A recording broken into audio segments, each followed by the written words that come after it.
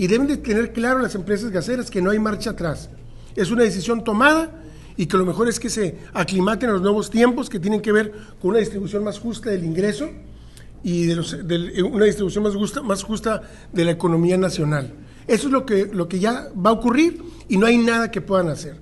Vamos a echar a andar nosotros un programa de la Profeco para revisar que esos precios no se desborden.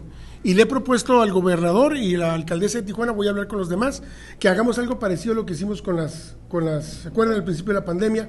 Con las funerarias, que podamos actuar de manera integral. Como les decía, es lo que mejor, lo que mejor nos ha salido, lo que hemos hecho de forma integral.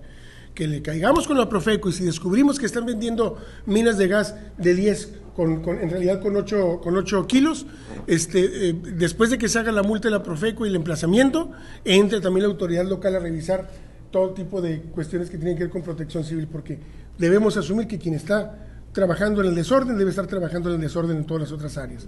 Vamos a, a poner orden en ese, en ese, tema, no vamos a permitir que hagan trampa en ese, en ese terreno. ¿Va a haber inspectores? Sí.